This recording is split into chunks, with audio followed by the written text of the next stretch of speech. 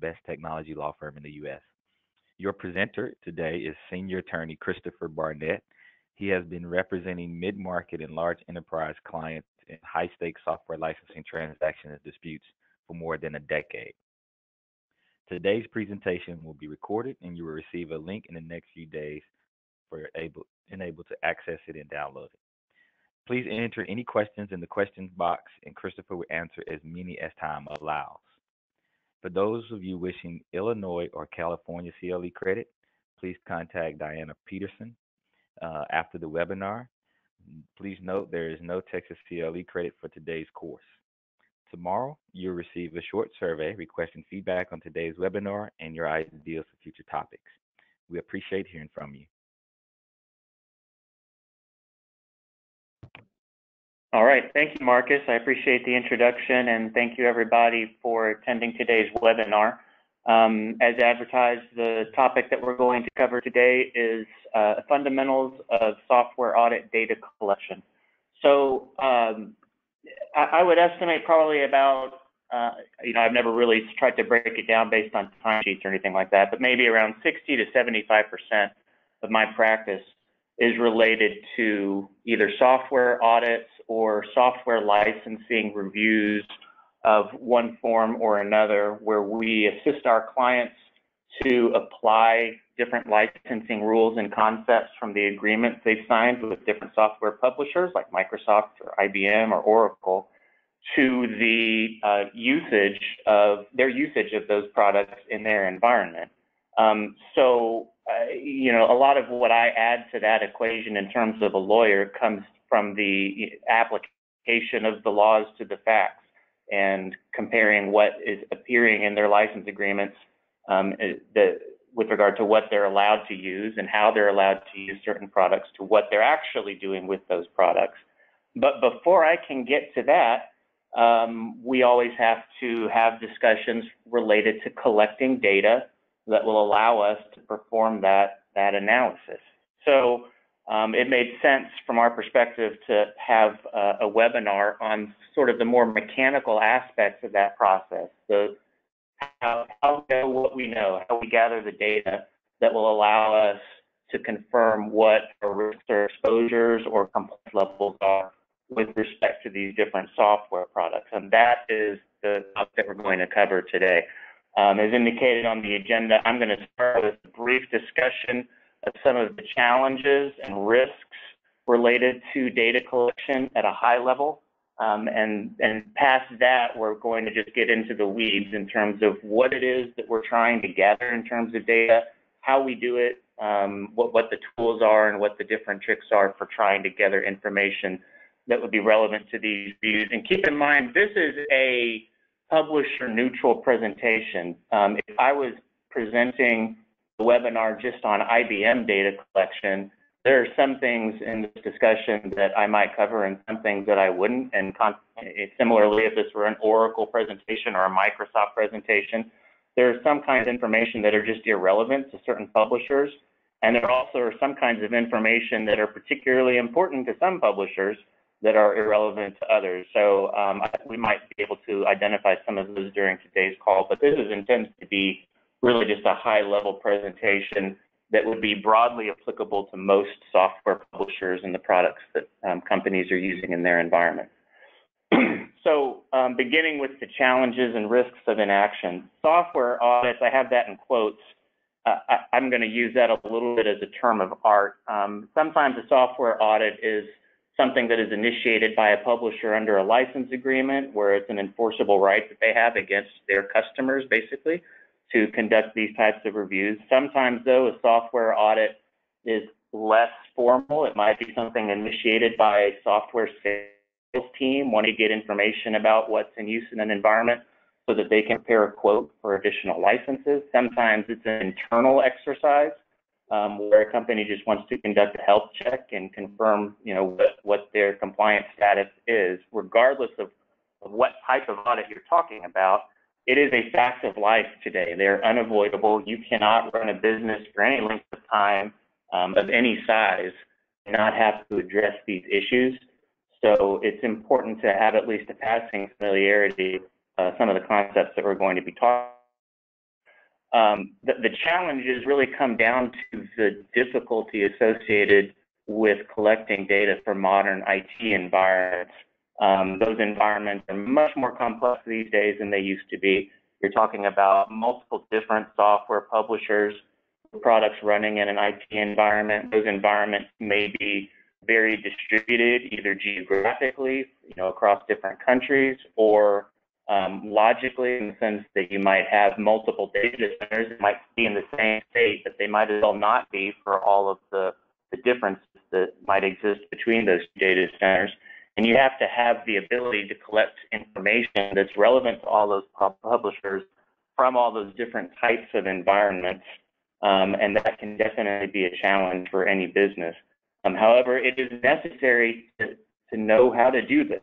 Um, if you fail to address these challenges, it can be it, it, can have very severe financial consequences for a company. You might be spending money that you don't need to spend on software. That's that's kind of the most immediate uh, risk in terms of the what what you might be undergoing right now, as opposed to some of the more remote risks where you, know, you would have lost opportunities for corporate transactions, for example, if you're considering an activity and you can't represent to a buyer what it is that you're using, that may cause them to think twice about um, investing in your company. And then also, um, you know, if you have a publisher initiated audit and you've never conducted this type of a review internally before, you might be setting yourself up for a huge financial hit as a result of that audit where the auditors determine that you've been using the software in excess of the rights that you've purchased and therefore you end up with a bill that you weren't expecting to have to pay, and you might not be able to negotiate it away. Um, so, uh, you know, I could probably present an entire additional presentation just related to challenges and risks without getting into sort of the mechanics, but it's important to have in mind at the outset an appreciation for the fact that these are important uh, topics to be able to address within an organization um, and, and, maybe in a future webinar, we'll, we'll expand on some of these concepts a little bit more. But diving into the, um, to the, the meat of today's discussion, there are really five types, maybe six, depending on um, the, the products that you're looking at, but, but five core data sets that we look to gather during any type of a software audit. The first is the hardware inventory just knowing uh, uh, basically a list of computers that are running software. This is present the list in a, a, summary fashion so that you have a sense of where we're going with this. But the first thing that we typically try to gather is just that hardware inventory, the list of computers usually organized by computer name. There also would need to be, in most modern IT environments, a virtualization inventory where we are gathering additional information for machines that are not physical computers in your environment, but virtual computers that are set up on um, IT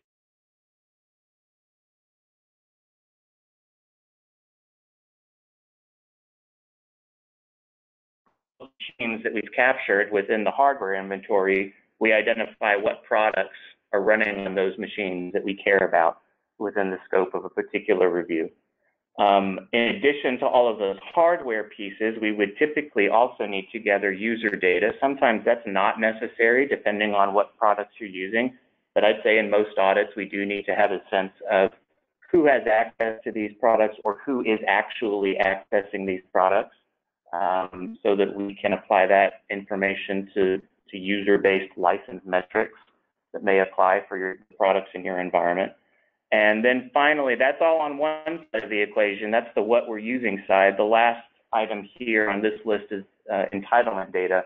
Um, we need to balance what we're using against what we own. Hopefully, the answer to what we own is not nothing.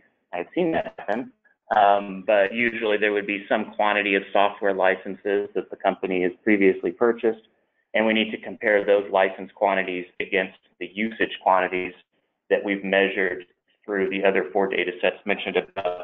Not on this list um, is an additional category of information that we'll discuss in a little bit, um, and that would be use characterization information, sort of knowing how products are being used. I'd say that's a bit more of a rare consideration, but it, it is common in the sense that when you're gathering the inventory, if you have certain machines that are used for development and test purposes, for example, you might be able to license those deployments under less expensive licensing models than would apply to your production deployments for products that you use you know, in a customer-facing environment or just for your other internal business operations. So that's where we're going to be going um, in more detail on the slides that follow. So the hardware inventory, starting there, that's typically the first thing that we are interested in gathering, or, or at least the first thing that we look at in terms of an, um, and what we're really wanting here is a list of all relevant devices in the IT environment. What's a relevant device? So in an, in an IT environment, you might have a collection of different types of computers. Some might be workstations, some might be servers, those servers might be running different types of operating systems. Some of them might be Microsoft based or Windows operating system. Some of them might be a Linux or Unix operating system. Some of them might not even really be computers in the traditional sense. They might be devices that are connected to your network for other purposes, like a switch or a router, or maybe some sort of task specific appliance. Devices or things that we don't for purposes of a licensing analysis not capable of running the software that we're interested in. And that's really what we mean by relevant. If it's not capable of running software published by the company who's conducting the audit or, or that you're interested in for purposes of the analysis, then those machines don't need to be included on the list, but everything else does. So if this were a Microsoft audit that we're talking about, you'd probably be wanting to gather information for pretty much everything um, except for non-Windows devices, you know, machines that don't run a Windows operating system and or or you know switches and things like that. But if it is it, other types of publishers, sometimes they have very scope of your scan to just the machines that are capable of running those products. Um, so within the hard We want to know the make and model of each device, who built it, and what, what the model number is. That sometimes can be important for the analysis. We also have to have information in most cases related to the um, process, the computer processors that are um, deployed on those devices. Um, so that would be a physical processor and associated processor cores for physical physical computers. For virtual computers, that you wouldn't have physical virtual, um, and we'll cover virtual computers a little bit more uh, on the virtualization slide. Uh, and then also, um, we might want to be collecting a secondary inventory to validate the completeness of the main hardware inventory. Usually that's a, a larger concern the first time you go through one of these reviews because you're wanting to validate that whatever tool you're using in order to gather the hardware inventory is doing a good job. But it, it's usually a best practice, I'd say, to, to have that secondary inventory in most reviews if you can. Um, and I'll cover that in a little bit more detail on uh, a slide later on. So the tools that you use to do this, usually you're going to want to use some type of an automated data collection tool in order to gather this information. It's just, it's the, the most common way that these tasks are approached, and it is um, labor saving and typically more accurate to use some type of data collection tool. You still have to validate that that tool is doing its job correctly, um, and that that is a part of the the analysis process. Um, but this is usually going to be a better way to complete the hardware inventory than one of the more manual methods that I'll talk about on the next slide. But within the universe of tools, there's broadly speaking, two types. There's going to be an agent-less tool or an agent-based tool. An agent-less tool is going to be a software program that uses just one machine within a network. And from that one machine, you tell the tool to go out and gather information from all the other computers in the environment. Um, in order to do that, you usually would have to log into the tool using some sort of administrative credentials for your network so that the tool would actually be able to connect to all those other devices. Um, but uh, that, that I would say is probably the most common tool that is used, at least in my experience, because it's easier um, to deploy. You don't have to worry about more than that one installation. And once you get past the initial configuration hurdles and making sure you have all of those credentials set up, it's, it's typically a bit quicker to, um, to deploy the tool and to gather the information using that type of an agentless system. Some good examples here would be Microsoft's um, MAP toolkit. That's actually a little duplicative. It's the Microsoft Assessment and Planning Toolkit, which is a free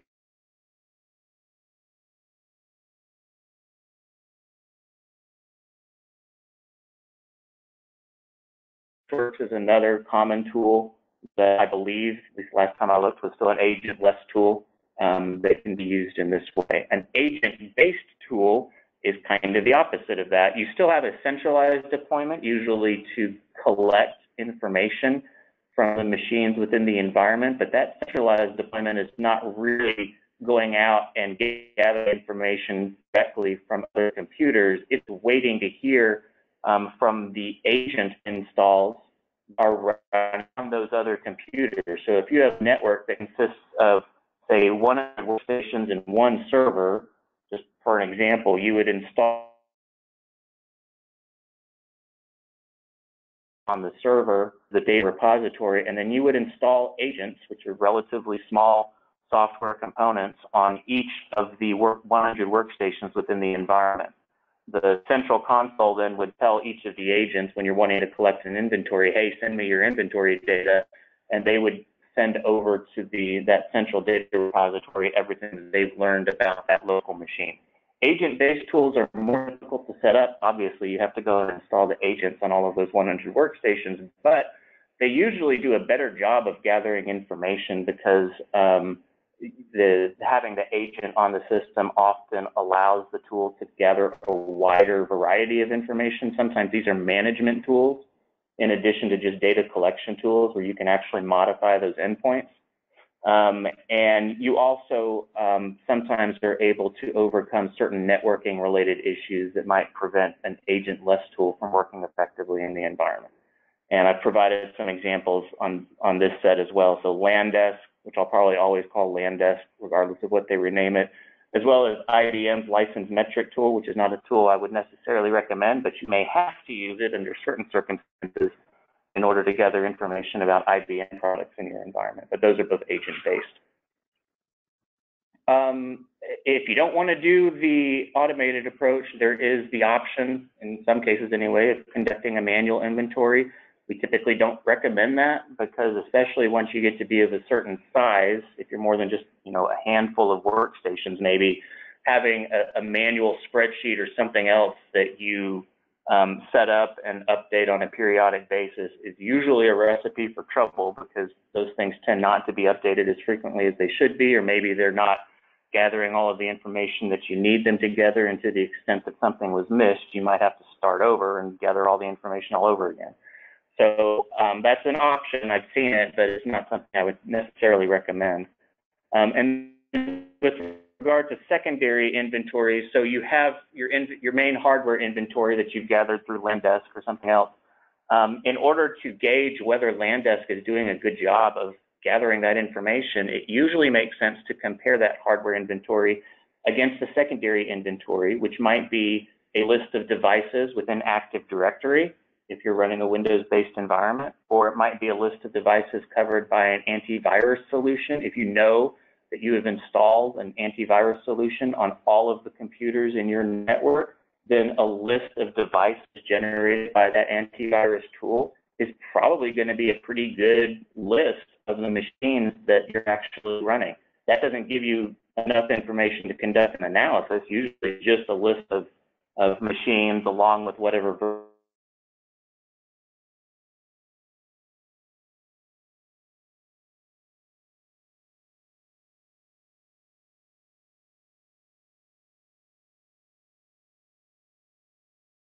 for something like 95% coverage, making sure that the tool is gathering information for at least 95% of the machines in the environment or the machines shown on that secondary inventory.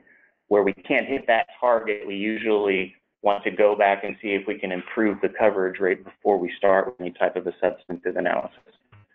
Then we have the virtualization inventory. Just for those who might be unfamiliar with the terminology, you know, most people are familiar with an environment where you would have physical workstations or a physical server, and the workstations connect to the server over a phone line or some other type of networking line. a virtualized computing environment would take a physical machine, usually a, a powerful physical server, effectively, and it would um, create virtual machines within that physical computer. So it's, it's a logical partition of that physical machine's processing and data storage capability. And those virtual machines act like but you don't you can't go out and touch them. They're they're only a, a partition, a sort of a logical partition or a, an intangible server um, that is running on that physical host machine. So when we're collecting data, we need to know in many cases which hosts, which of those physical machines are running which of the virtual servers or virtual workstations in your environment. This can be particularly important um, within certain types of licensing regimes where you might have to pay additional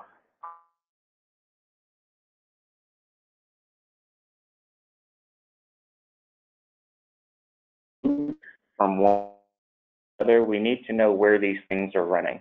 And that's the one of the main purposes of the virtual uh, virtualization inventory. Um, when we um, when we do this, let me get to the next slide. There are some publishers that um, where this this type of information can be especially critical. Oracle is a good example of that, mainly because Oracle does not recognize certain virtualization technologies, including probably the world's most popular virtualization technology, which is VMware, as being sufficient to limit the number of licenses which you would need to purchase for your virtual machines. If you're running a VMware virtualization environment, having that information is going to be particularly important in an Oracle audit, mainly because you're not going to be able to rely on any sort of virtual processor counts associated with your VMs as being relevant to what you have an obligation to buy in terms of licenses. There are other publishers where it is important to have this information, but if you're not using the right data collection tools, um, you might be in the same position as you are with Oracle and VMware. IBM will allow you to um, use its software in virtualized environments, but if you're going to try to license based on the capacity just of those virtual servers, as opposed to the full physical capacity of your hosts, you have to use IBM's license metric tool within your environment. There are some exceptions to that rule, but they're pretty limited and most companies can't satisfy the criteria to apply them. So you, you have to set, set yourself up for either deploying the license metric tool with those IBM deployments for your virtualized environment or just licensing the full physical capacity know, before you play software in a virtualized computing environment, you need to know what the license rules say about using uh, the, the, software in one of those environments, and consequently, that will give you the information that you need to know in order to collect an effective um, inventory for that virtualized environment. So um, the virtualization inventory is going to consist of a list that basically maps each of the virtual machines to their respective hosts. That's one important component. We also need to get information regarding the basically the same type of information that we gathered in the hardware inventory for those physical hosts. Sometimes host machines don't show up in the hardware inventory that you collect from something like Map Toolkit or LANDESK or something like that. Um,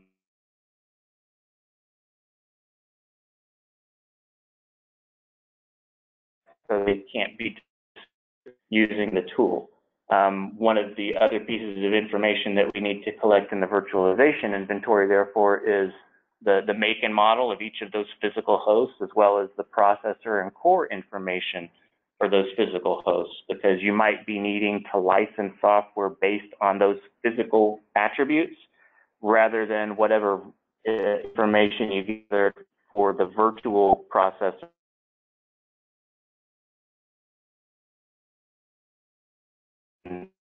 collects that information. Um, we also typically need to know whether a virtual server is able to move across the network from one physical host to another. It's a very common um, configuration in modern IT. um, where uh, you have that type of a high availability or failover functionality set up that would allow a VM to keep running.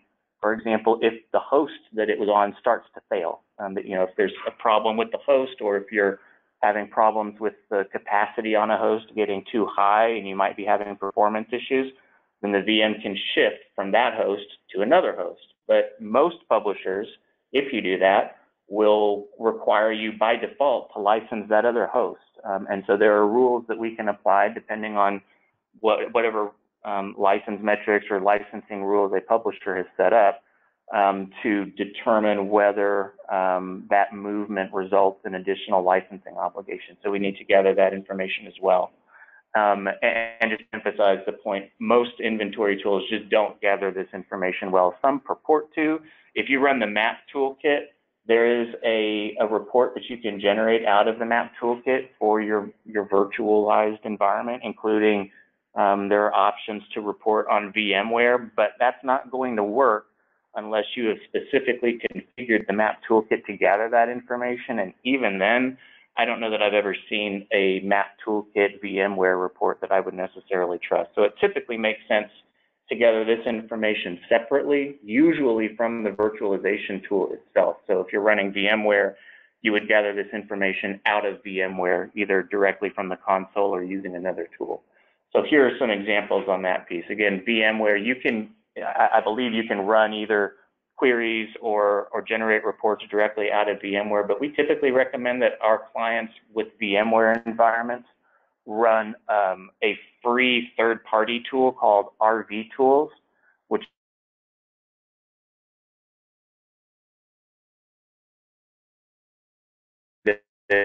um, for VM administrators to gather all the information that they need in order to manage the environment.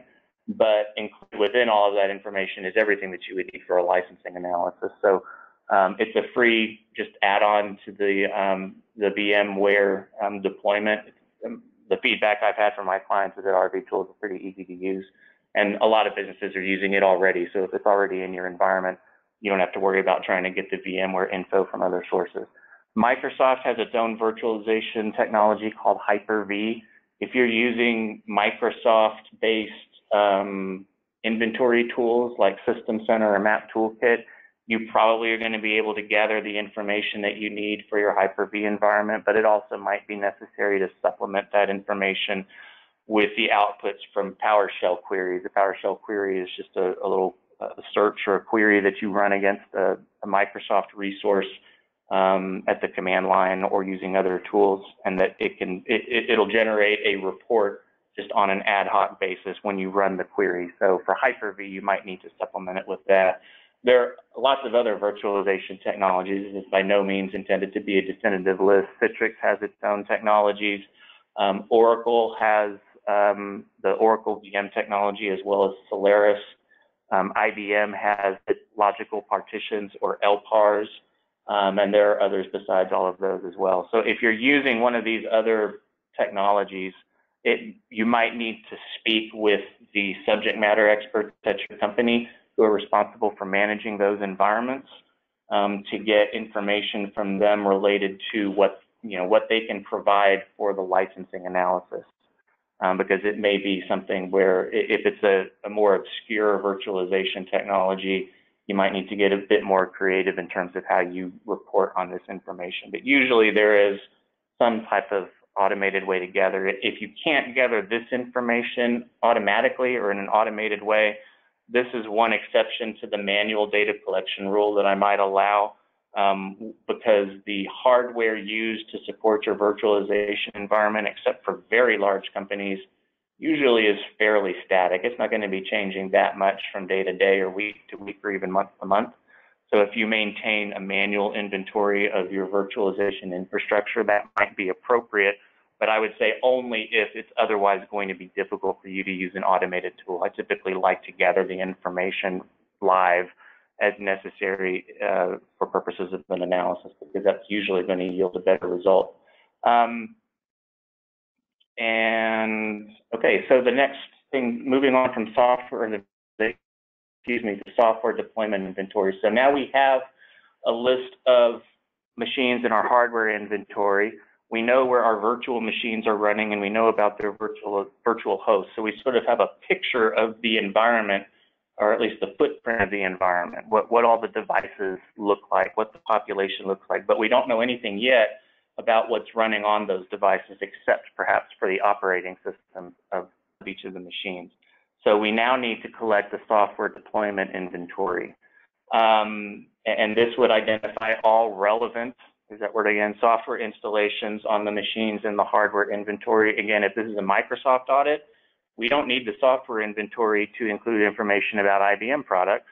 That's just going to give you a lot more work and not going to benefit the analysis at all. So usually there's going to be some sort of a filtering to the data that we collect at this stage, either on the front end and trying to control what we're searching for, or on the back end and trying to exclude from the outputs anything pertaining to products that aren't published by the, the, the vendor in question. Um, if this is part of a broader type of analysis, if this is not a publisher initiated audit, or if it's not something where you're worried about what your license position is for, for Microsoft or IBM specifically, you might be doing a, you know, a broader just licensing health check to see how, see what your license position is from multiple software vendors, or you might be contemplating a merger or acquisition or something else where you would need to provide a third party with information about your your compliance status for different software products. Um, it might it might be necessary to look for more than one type of software product, and it also might be a good idea to segregate your reviews because mixing a, a Microsoft review with a, an Oracle and an IBM review is going to be pretty consuming, so or pretty confusing, excuse me. So it probably makes sense to do these things um, in discrete chunks, but overall you might be looking for more than just one type of product, depending on what type of review you're conducting. And the data that we're looking for here is going to consist of the, the name of the publisher. Usually you're going to want to know that if, it's, if that information is included in whatever data repository you're looking at for this software information, um, as well as the, the name of the software products that are installed, the versions of those products, usually is going to be very important because you'll need to be able to match the version that you have licensed against the version that you're actually using. And then the product edition. And so there's a uh, version and edition sometimes are used interchangeably by businesses, but for, for people who work with these concepts day to day, they mean very different things. A version of a product would be, um, you know, uh, Windows 8.1 versus Windows 10. The 8.1 or 10 signifies a new release of the product. That is a version.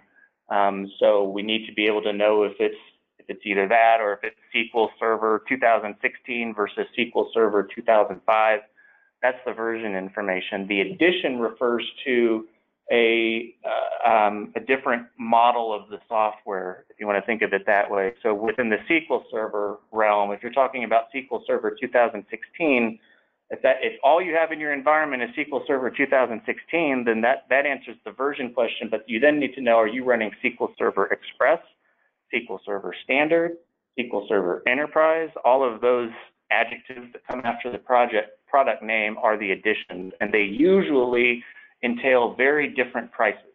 Therefore, we need to know if you're running um, SQL Server Enterprise versus Express. Enterprise is extremely expensive SQL Server Express is free. So we would want to exclude the SQL Server Express installs from uh, an analysis of what you're obligated to buy in terms of licenses. So we need to try to gather that addition information. Challenges related to um, gathering this software inventory, there, there are a number of them and they vary from publisher to publisher, but there are some common ones. One, with respect to that addition information in particular, um, usually a software data collection tool, and, and for the most part, we're going to be using the same tools to gather the software data that we use to gather the hardware data. Usually they can do both. Um, sometimes there might be exceptions to that rule, but I think for, for the large majority of automated tools that you would be using, they would gather both the hardware info and interested in. But usually these tools are going to be looking for certain data within certain places on each computer. If it's a Windows-based tool, It'll be looking at the Windows registry, which is basically just a list of um, different uh, configurations, different system attributes within a computer, which includes a list of installed software. Sometimes uh, the, the Windows registry or, or other data repository for other kinds of systems doesn't provide all the information you need. But SQL Server, again, is a good example. Um, if you go to the add remove programs list, for example, of a Windows system, which is generally is reflective of the system registry for installed software, um, that that that list typically will not tell you what edition of SQL Server you're running. You're going to have to look somewhere else to gather that information. Some tools know that. Uh, Map Toolkit actually does a pretty good job of finding the edition from other sources, but some tools don't. They look in the system registry, they spit out whatever information there, and if that information didn't include the addition, you're going to have an additional step that you have to take in order to complete software inventory. So um, that's one challenge. Um, usually the the raw information that you obtain from your automated tool is going to include lots of information that is irrelevant to your licensing analysis.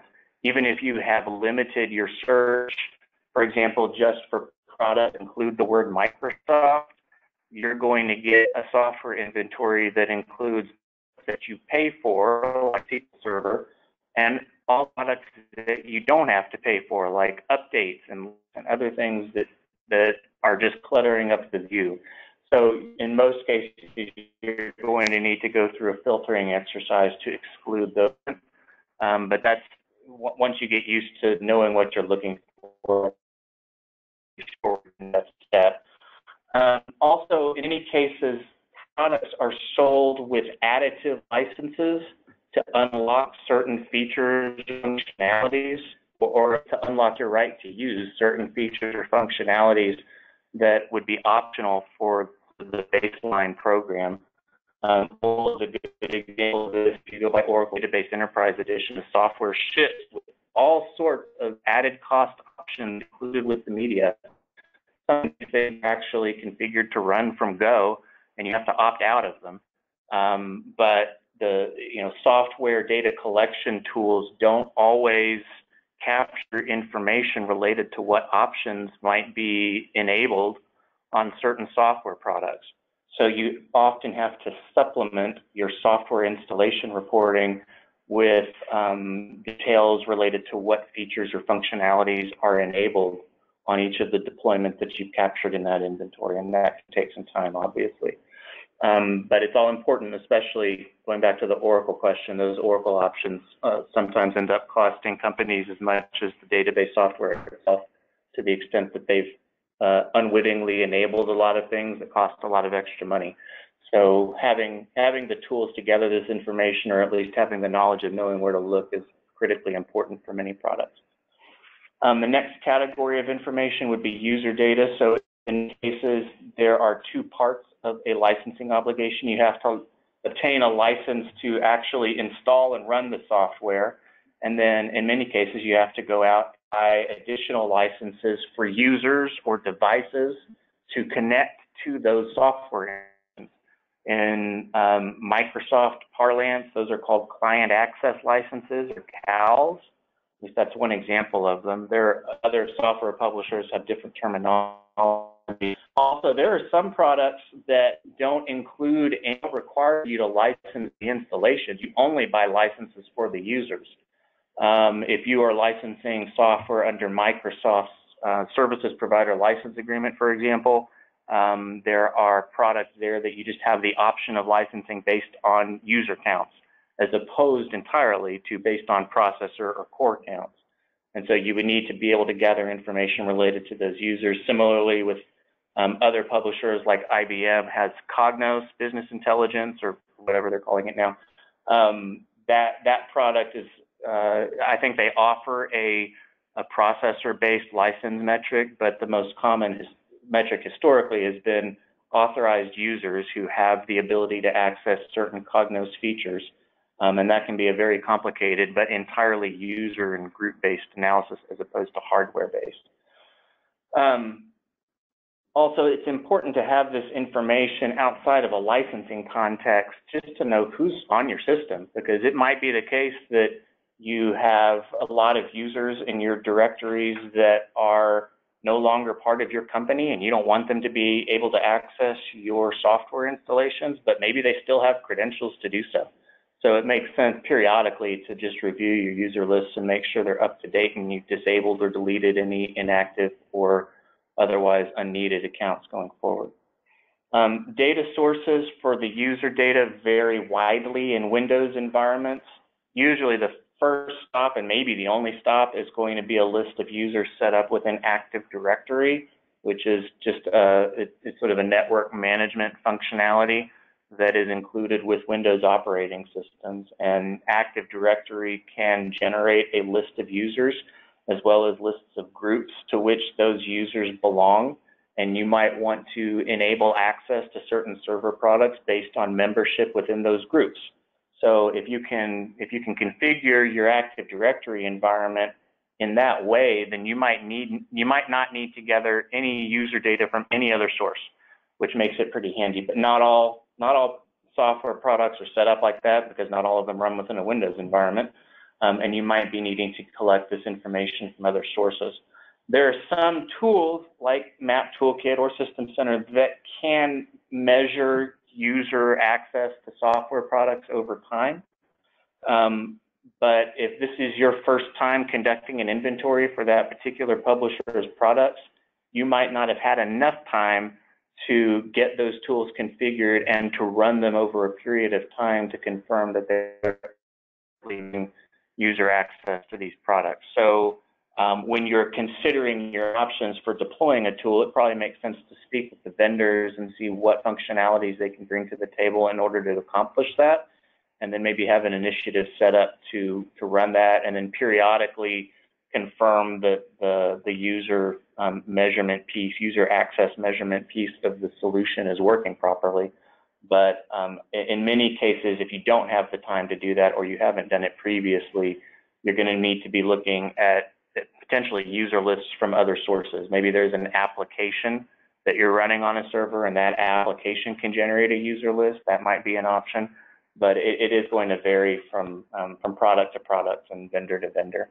Um, challenges with regard to user data. So one comment that comes up commonly with respect to many different publishers is this concept of pooling or multiplexing, where if you were to generate a list, for example, out of Active Directory, maybe it only has like five user accounts in it, and three of them are administrators. Um, and and you know, however, that you've got 200 people within your organization using software. So why is there that disconnect? Well, one or more of those accounts within Active Directory might be basically a dummy account. It's not necessarily associated with any particular user, but it might be associated, for example, with an application. And within that application, users log in. They log into the application rather than to the server. And that application has an account within Active Directory. And therefore, all of those users are basically getting funneled down and they're accessing the server through that one service account or that shared account. Most software publishers have licensing rules that say that you cannot limit your obligation to buy a user license by setting up these types of pooled accounts. You have to buy everybody who accesses the software either directly through an Active Directory account or indirectly through one of these service or shared accounts. Um, so you need to have tools set up that will allow you to gather information related to shared accounts and to track them ideally over time. Um, this is a question that comes up very commonly within audits. And if you're not able to demonstrate who the user base is, who are accessing a product or a server through a shared account, the auditors might make certain assumptions that you won't like about the number of users who are doing so, maybe based on headcounts or something else. So um, it, you, you need to have some sort of methodology set up to gather that information. Um, also, non-Windows environments may be more difficult to query. I mentioned this a, minute ago. Windows environments typically have, though not always, typically have Active Directory set up so that it's it can be at least a one-stop shop to gather your user information. But even within Windows environments if you haven't previously set up Active Directory, which would be relatively uncommon. Or if you're not using a Windows-based um, operating systems in your environment, then that may not be an option, and you may need to look for user data from other sources. Um, use characterization. So this is the item that wasn't on that, that one slide at the beginning um, that was looking at these things at a summary level. Um, in many cases, you'll need to know how certain software products are being used. This isn't always important because some software publishers may not offer very meaningful distinctions between production use and development or testing use. Everybody has to have the same license, so you may not need to gather this information. But in a lot of cases, it is important to know. And it, for example, with Microsoft, um, you might have production licenses that you buy under an enterprise agreement for most of your environment, but you also might have a team of users that has um, development or testing um, job functions where they, they create new programs for you or they test products before they move into production. And for those users, instead of buying production licenses, you may have the option of buying a subscription license under um, MSDN uh, which is a, a development developer tools subscription license bundle, basically that would allow you to run certain tools like Visual Studio, which is a programming interface typically, along with um, other products like SQL Server, Windows Server, or Exchange that those users are authorized to use for development or testing purposes um, at no additional charge past the subscription license price. So paying thousands and thousands and thousands of dollars worth of SQL Server licensing for those users to use. You would instead buy those users an annual MSDN subscription, which might be four to seven thousand dollars, depending on which subscription level you get. But that's substantially less expensive than having to purchase production licenses for those users. So um, if you've done that, you need to know which deployment, which installations and computers in your environment are used exclusively by those MSDN users. This is not information that a tool can gather. Um, it's something that you have to know about your environment or have to have the ability to determine. We often recommend that our clients either segregate their dev test environment logically or physically if possible, um, or at the very least give the dev test servers um, different names so that you can identify them at a glance and, and identify them as such to a software auditor in the event that you have an audit. Another focus here that I've highlighted on this slide is the commercial hosting concept. So most publishers will say that you can use their products that you've licensed for your internal business purposes as much as you want up to your up to your entitled capacity. But they'll also typically say you cannot use your software licenses to provide some sort of a hosted service to your customers. So if you're if you are a solution vendor and you want to offer a web-based tool for your customers to use for one purpose or another, um, you might want to build that tool on a Windows Server operating system, and maybe you want to use a SQL Server database to support it. You can't do that in most cases under an under licenses that you get through an enterprise agreement. Um, with Microsoft, they have a, uh, with some exceptions, which I won't get into here, but they have a different licensing regime called SPLA, Services Provider License Agreement, that is a completely different licensing model. It's a month-to-month reporting model rather than a capital expenditure, go buy some licenses model. Um, and that is what you would need to use for your commercial hosting use cases. So again, you need to know which, if any, of your software deployments in your environment are used for commercial hosting purposes and segregate them if at all possible. Ideally, physically, you don't want to just have a logical segregation, in my opinion, between your internal use and your customer facing deployments. It'd be best if they are on completely separate physical infrastructure. And you need to be able to identify what's what and to demonstrate who has access to those things. So again, this is not information that an automated tool is going to know how to collect. There's no attribute of a computer that can tell a tool for commercial hosting purposes. You just have to know. Um, oh, uh, you know, there are some exceptions to that. You might be able to demonstrate, for example, that certain computers are only accessed by internal users. But again, that's that's knowing who those users are It's not something that the tool can figure out, but it's often a critical piece of the data analysis that we need to conduct in this type of a review. All right, so all of all of what we just discussed again goes on the what we're using side of the equation. On the other side of the equation is what we own in terms of software licenses. We need to know what your entitled level of usage is for each product that's relevant to the review that you're conducting. Um, usually the best sources of information related to your entitlements are going to be either license and support agreements that you have with your vendors or order documentation or invoices. Um, in many cases, you can um, request that your value-added reseller or maybe the publisher itself um, can provide you with a spreadsheet that shows the history of your product licenses over time.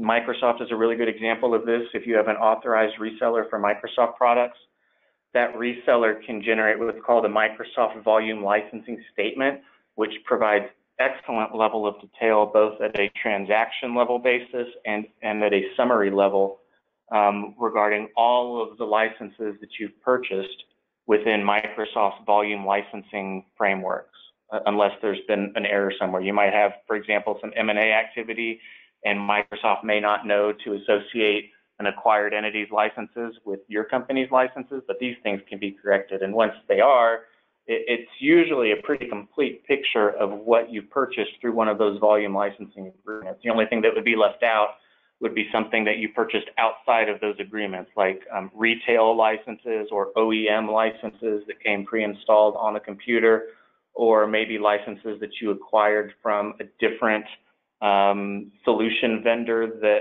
that is bundling Microsoft or some other publisher's licenses with its own products. Um, usually Microsoft won't have information related to those things, so you would need to supplement it. But wherever possible, regardless of whether it's Microsoft or another vendor, if you can go to your reseller and ask them to generate that type of a purchase history, that may be all the information that you need to collect on the entitlement side. Um, and then occasionally you might be able to rely on license certificates or other documents that you might receive from a vendor in connection with its products, but usually those those certificates are not dated as useful for purposes of an analysis, especially if you're trying to determine your, uh, your license position at a particular point in time. Challenges with related to um, entitlements, the, the easiest one to think of is the fact that you, you know most companies license software from different vendors, and different vendors have different license metrics. So you can't, in most cases, just include all publishers' license data on a single spreadsheet, or you can, but you just have to know to filter it appropriately and only look at, at relevant information for each publisher. You have to be familiar with how these products are licensed um, and what information needs to be reflected on the entitlement record so that you can accurately compare that against what it is that you're using. Another very common problem is what we internally here uh, often referred to as document soup. And the best example of this is IBM IBM, if, for those of you familiar with Star Trek, IBM is like the Borg. They will go through the universe and gobble up all sorts of smaller software vendors and then rebrand those software vendors' products as their own. Um, over time, IBM might change the license metrics applicable to those products common set of metrics in product portfolio in many cases, at least for a while after IBM has acquired these companies, they may still be licensing those companies' products based on the legacy license metrics, which may be very different than the license metrics that IBM applies. Also, those products might be subject to legacy license agreements that may include different types of usage rights or, or allowances that those legacy vendors allowed their customers to apply and that IBM does not or that IBM won't going forward. Um, so it can be extremely challenging in IBM, in some types of IBM reviews to figure out exactly what a company is entitled to do with the licenses that it previously purchased, especially in new companies that IBM has since acquired. IBM does do a very good job, I will say, of making all of its license terms, or most of them anyway, available on its website. Um, you can do a Google search for IBM license information and search up the product-specific license information sheets, which typically provide excellent detail related to how products are licensed and able to do with them. Um, but again, to the extent that you are still maybe subject to older and not on IBM's website, you still might have to be looking at, at other sources of information to figure out exactly what you're entitled to do. So on the entitlement side, it's usually critical for legal teams to get involved early during a software review so that they can start compiling a repository of information and documents related to that entitlements analysis and confirming what a company is, uh, is, is, licensed to do with certain software products. Um, and so a final reminder here, just generally speaking with respect to all of these data collection processes, you know, having tools, having a good tool is important. Having a good repeatable audit and analysis processes also is important, but it's not a sufficient condition for success. You're going to need periodically to test your tools and your processes to make sure that they are gathering all of the information that you need and that's relevant to each license review. Um, and, and effectively you have to audit your own audit. And that means, for example, with respect to the hardware inventory, periodically confirming it against that Active Directory hardware list or antivirus list. Um, with respect to entitlements, just making sure that you've accounted for all recent acquisitions of software licenses and everything is up to date. These things need to be checked over time. If you allow that to slip, then when you do eventually get audited, and everybody eventually gets audited, either if it's publisher initiated, like we were saying at the beginning, or if it's something related to M&A activity or just an internal health check, you're going to be setting yourself up for problems to the extent that you haven't tested these tools and processes um, before that. Um, so just some final conclusions. Again, as I was just mentioning, it makes sense to undertake some periodic proactive licensing health checks where you, you test that all of these tools are working correctly and that you have a firm understanding of what what's deployed and that you're up to date in terms of all the licenses that you need in order to support those deployments. That's usually a holistic process that involves multiple teams within a company. Um, so um, having having processes not only set up just to gather the information, but also to periodically test the gathering of that information, I'd say especially for larger companies is going to be a critical step to take. Um, also, um, in connection with third-party audits, um, it usually makes sense to have some assistance with that, especially if you are unfamiliar with how those third-party products are licensed or if you haven't undertaken these steps um, in advance of undertaking that review. Um, so um, obviously that's something that Scott and Scott handles on a day-to-day basis. Like I said, it's probably three quarters of my practice is helping, company, helping companies with exactly that task.